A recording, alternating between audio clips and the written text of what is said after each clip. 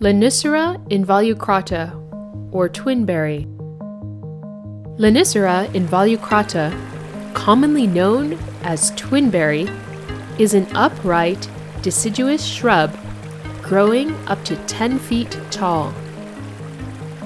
It is found on moist, sandy, rocky, or gravelly soils, usually near streams or bottomlands. It ranges from southwestern Columbia to central California. The leaves are opposite, simple, deciduous, and ovate to elliptical.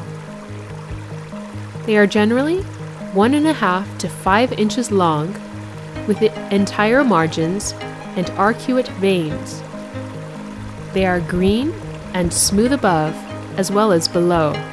The flowers are monoecious, perfect, tubular or trumpet shaped, small about a half inch long, and paired, surrounded by two bracts that turn red. The fruits are paired purple to black berries, about a quarter inch in diameter. Twigs are slender, light yellow green, and ribbed when young, but turn reddish brown with age. The bark is yellowish gray to gray brown and shreddy.